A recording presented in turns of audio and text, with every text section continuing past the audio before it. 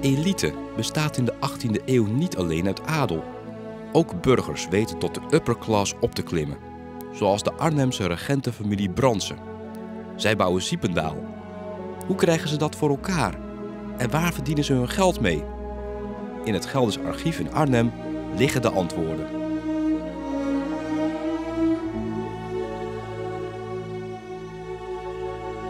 Even zien wat we hebben.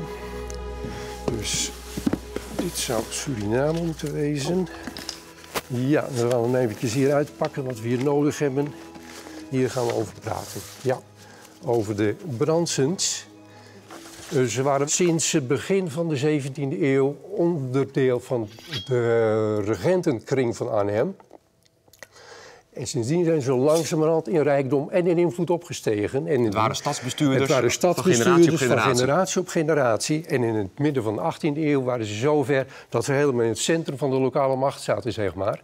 En daarbij behoort ook langzaam verrijken. Wat we nu corruptie noemen, was toen gewoon gebruik maken van je functie. Ja?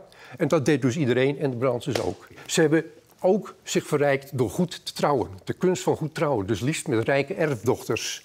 En de man die Ziependal kocht, die heeft het heel goed gedaan. Samen met zijn broer, zij tweeën, trouwden met twee zusjes van de familie De Vree... die op uitsterven stond. Al het vermogen van de familie zat dus in handen van deze twee zusters. Ze trouwden met ze en presto, ze waren plotseling veel rijker geworden. Zo eenvoudig was het leven soms. Zijn nalatenschap, de verdeling daarvan, is heel netjes geregistreerd. Men heeft de moeite genomen om elk, stu- elk stuk wat erbij hoorde te taxeren. En het totaal is ruim 500.000.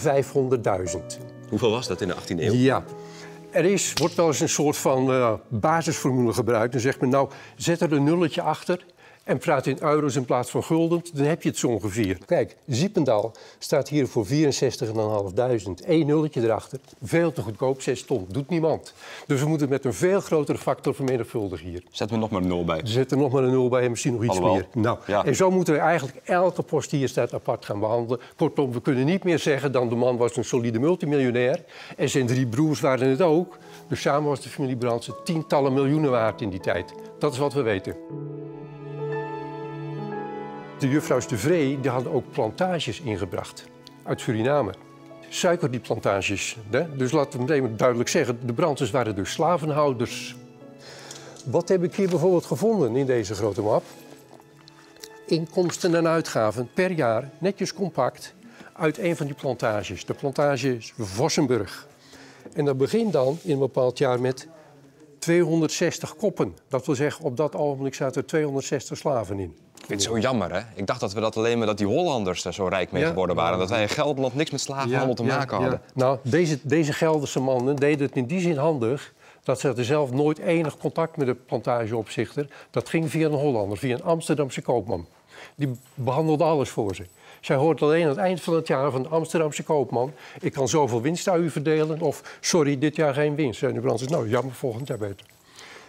Ik, Contact eh, hadden ze er zelf niet mee, maar het geld kregen ze er wel van.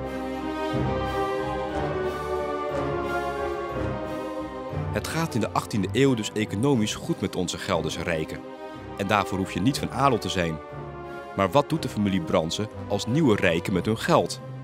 Hadden ze hun eigen stijl of wilden ze juist op de adel lijken?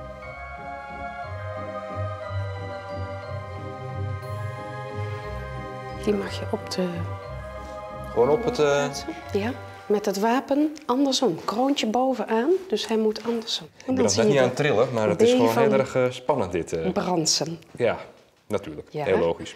Hij staat. Wat is de volgende stap? Het zilver. Kijk, ik heb hier zo'n mooie vork met het familiewapen van de familie Bransen. En dat gaan we dus eerst goed oppoetsen met deze zilverwand. Maar die familie Bransen, eigenlijk een, een burgerfamilie, deden we alles aan om een adellijk, een adellijk voorkomen te hebben? Ja, ja. Zij waren natuurlijk op allerlei manieren ook betrokken bij adellijke families vanwege hun regentenpositie, hun baantjes in de stad. En natuurlijk kwamen zij veel adellijke personen tegen. Alles wat de adel deed, daar volgden de burgers in. Zeker een familie als de familie Bransen.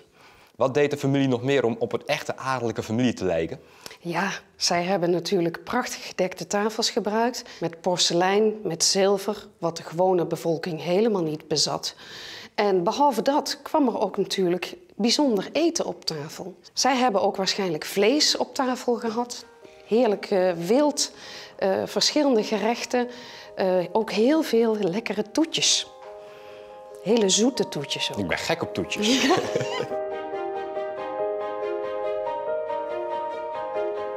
Hier is gesloten gedekt. Dus je legt het, de vork zo neer dat je nu dit Oh, mooie ja. familiewapen ook kunt zien. Ja. Dus kijk, hij ligt dan gesloten. Ah, oké. Ja, Ja. zo gesloten. Ja. En pas op, want hij moet Is dus het ook... niet goed? Ja, hij moet ook zo op de lijn. Die met de 2 lepel. millimeter, hè, dat is wel het belangrijke Ja. om dat precies goed te doen. Ja, het personeel wist precies hoe zij moesten dekken. Dus in één lijn.